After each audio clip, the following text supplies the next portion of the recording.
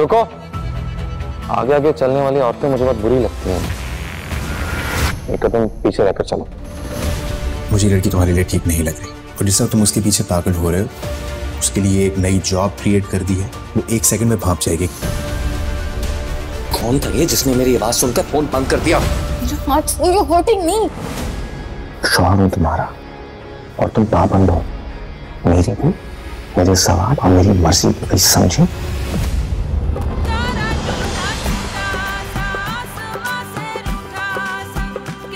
देखिए मुझे कबूल नहीं।